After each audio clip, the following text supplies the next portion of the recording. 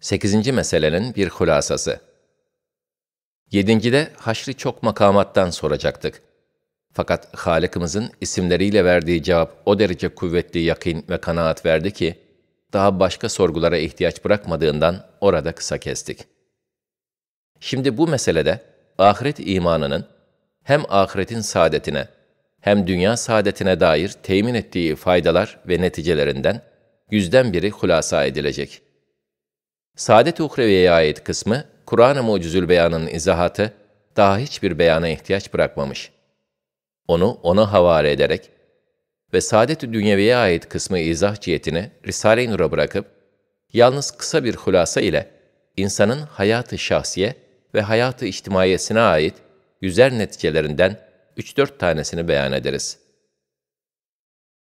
Birincisi, İnsan, sair hayvanata muhalif olarak, hanesiyle alakadar olduğu misüllü, dünya ile alakadardır. Ve akaribiyle münasebettar olduğu gibi, nev-i beşer ile de ciddi ve fıtri münasebettardır. Ve dünyada muvakkat bekasını arzuladığı gibi, bir dar ebedide bekasını aşk derecesinde arzuluyor.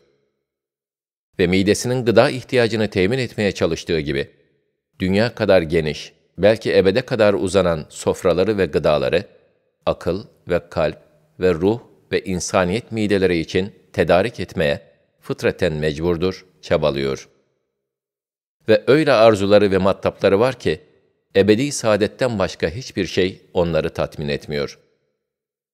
Hatta 10. sözde işaret edildiği gibi, bir zaman küçüklüğümde hayalimden sordum. Sana bir milyon sene ömür ve dünya saltanatı verilmesini, fakat sonra ademe ve hiçliğe düşmesini mi istersin? Yoksa baki fakat adi ve meşakkatli bir vücudu mu istersin dedim. Baktım ikincisini arzulayıp birincisinden ah çekti. Cehennem de olsa beka isterim dedi.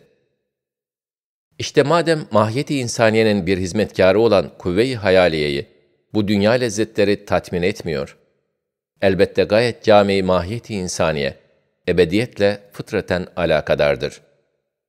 İşte bu hadsiz arzu ve emellere bağlı olduğu halde, sermayesi bir cüzi cüzi ihtiyari ve fakr mutlak bir insana, ahirete iman ne derece kuvvetli ve kafi ve vafi bir hazine, bir medar saadet ve lezzet, bir medar istimdat, bir merci ve dünyanın hadsiz gamlarına karşı bir medar teselli olduğu, öyle bir meyve ve faydadır ki, onu kazanmak yolunda dünya hayatını feda etse yine ucuzdur. İkinci meyvesi ve hayat-ı şahsiyeye bakan bir faydası. Üçüncü meselede izah edilen ve gençlik rehberinde bir haşiye bulunan çok ehemmiyetli bir neticedir. Evet her insanın her zaman düşündüğü en ehemmiyetli endişesi, mezaristana giren kendi dostları ve akrabaları gibi o idamhaneye girmek keyfiyetidir.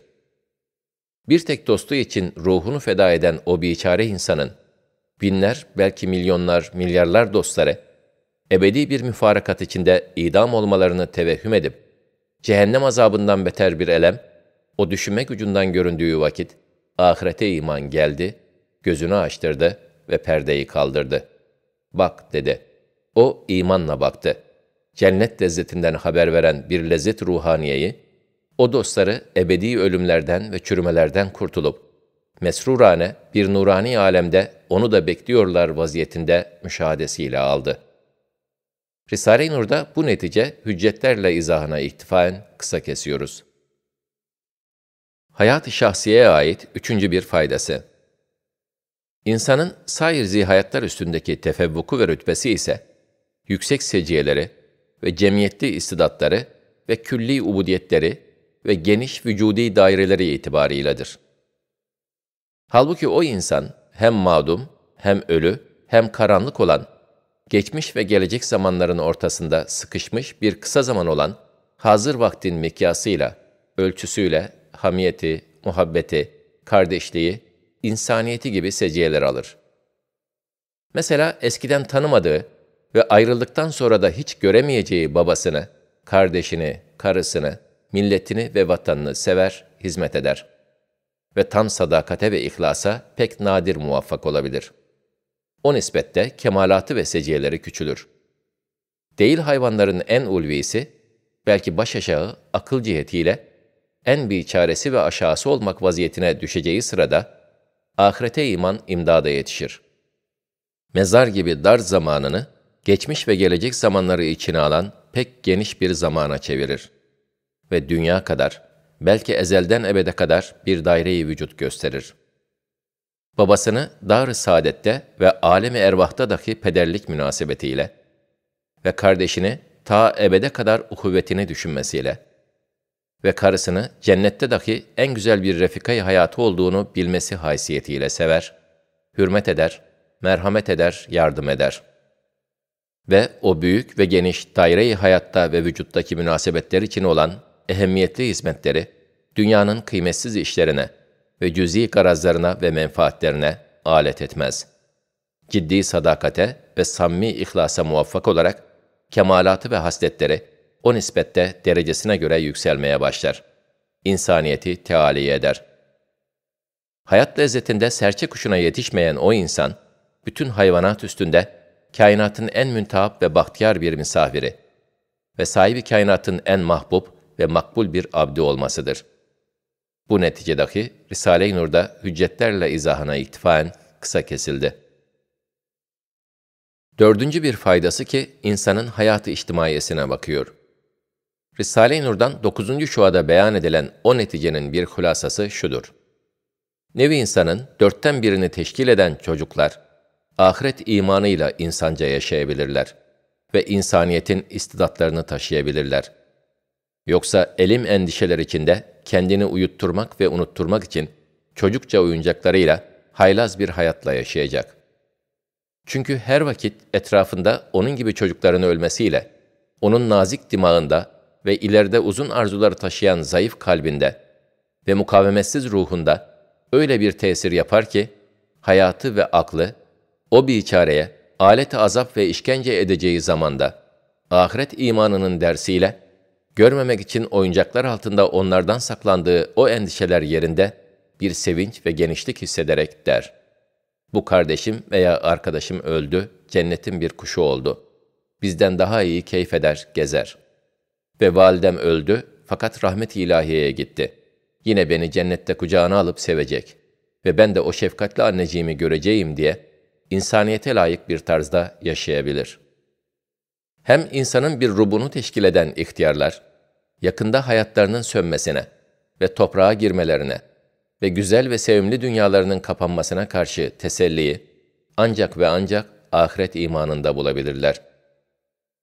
Yoksa o merhametli muhterem babalar ve fedakar şefkatli analar öyle bir vaveyla ruhi ve bir dağdağ kalbi çekeceklerdi ki, dünya onlara meyusane bir zindan ve hayat işkenceli bir azap olurdu. Fakat ahiret imanı onlara der, merak etmeyiniz, sizin ebedi bir gençliğiniz var, gelecek ve parlak bir hayat ve nihayetsiz bir ömür sizi bekliyor.'' ve zayi ettiğiniz evlat ve akrabalarınızla sevinçlerle görüşeceksiniz. Ve ettiğiniz bütün iyilikleriniz muhafaza edilmiş, mükafatlarını göreceksiniz diye, iman-ı ahiret onlara öyle bir teselli ve inşirah verir ki, her birinin yüz ihtiyarlık birden başlarına toplansa, onları meyus etmez. Nevi insanın üçten birisini teşkil eden gençler, hevesatları galeyanda, hissiyata mağlup, cüretkar, akıllarını her vakit başına almayan o gençler, ahiret imanını kaybetseler ve cehennem azabını tahattür etmezlerse, hayat-ı içtimaiyede ehli namusun malı ve ırzı ve zayıf ve ihtiyarların rahatı ve haysiyeti tehlikede kalır. Bazı bir dakika lezzeti için bir mesut hanenin saadetini mahveder ve bu gibi hapiste 4-5 sene azap çeker, canavar bir hayvan hükmüne geçer.'' Eğer iman ahiret onun imdadına gelse, çabuk aklını başına alır. Gerçi hükümet hafiyeleri beni görmüyorlar ve ben onlardan saklanabilirim. Fakat cehennem gibi bir zindanı bulunan bir padişah-ı Zülcelal'in melaikeleri beni görüyorlar ve fenalıklarımı kaydediyorlar. Ben başıboş değilim ve vazifedar bir yolcuyum. Ben de onlar gibi ihtiyar ve zayıf olacağım diye birden zulmen tecavüz etmek istediği adamlara karşı bir şefkat, bir hürmet hissetmeye başlar. Bu mananın dahi Risale-i Nur'da bürhanlarıyla izahına iktifaen kısa kesiyoruz. Hem nevi beşerin ehemmiyetli bir kısmı, hastalar ve mazlumlar ve bizim gibi musibetsedeler ve fakirler ve ağır ceza alan mahpuslar.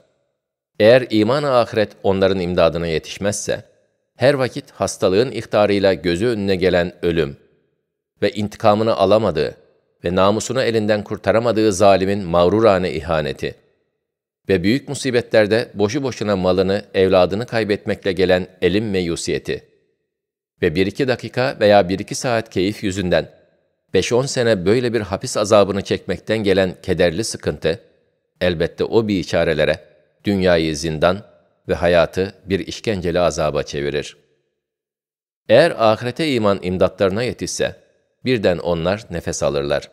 Sıkıntıları, meyusiyetleri ve endişeleri ve intikam hiddetleri dereceyi imanına göre kısmen ve bazen tamamen sahil olur. Hatta diyebilirim ki, benim ve bir kısım kardeşlerimin bu sebepsiz hapsimizde ve dehşetli musibetimizde eğer imana ahiret yardım etmeseydi, bir gün dayanmak ölüm kadar tesir edip bizi hayattan istifa etmeye sevk edecekti.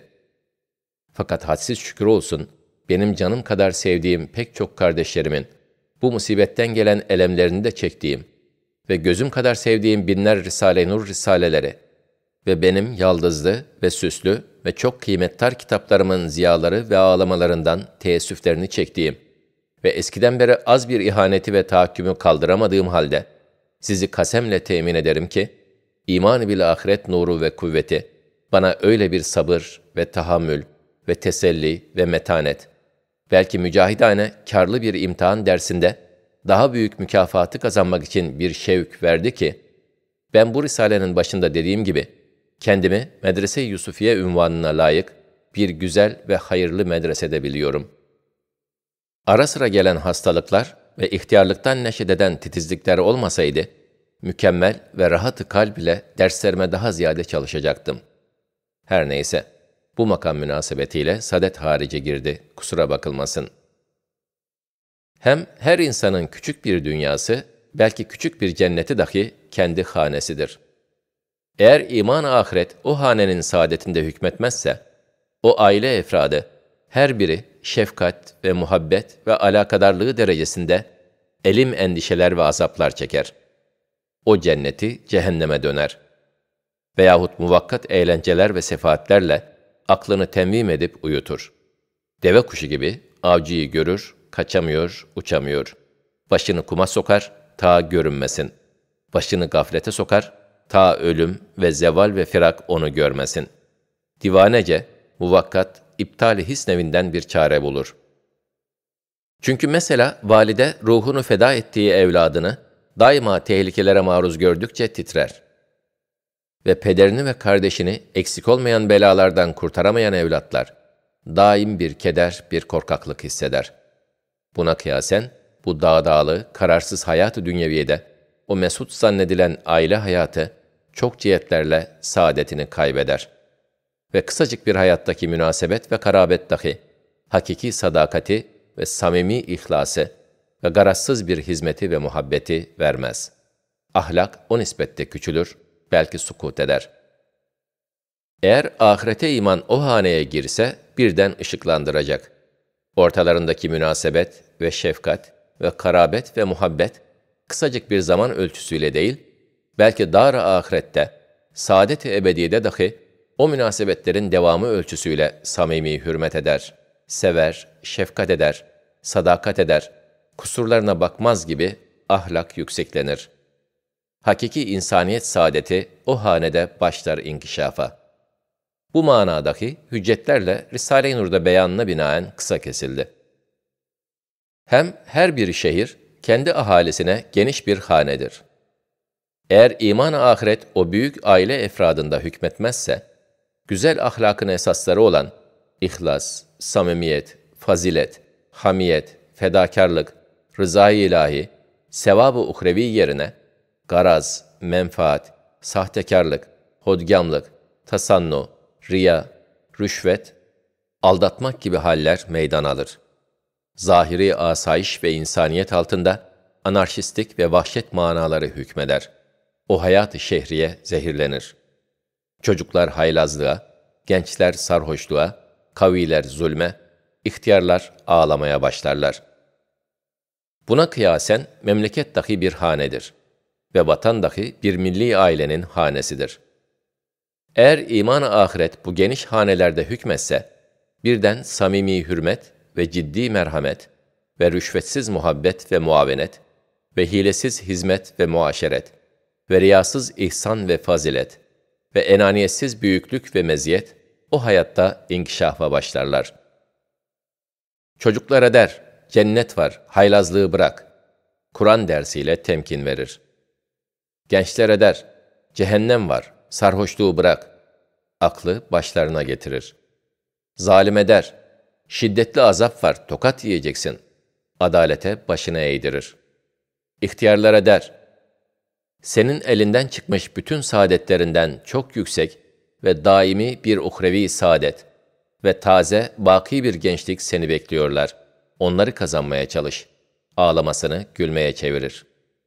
Bunlara kıyasen, cüzi ve külli her bir tayfede hüsnü tesirini gösterir, ışıklandırır. Nevi beşerin hayatı içtimaiyesiyle alakadar olan içtimaiyyun ve ahlakiyunların kulakları çınlasın.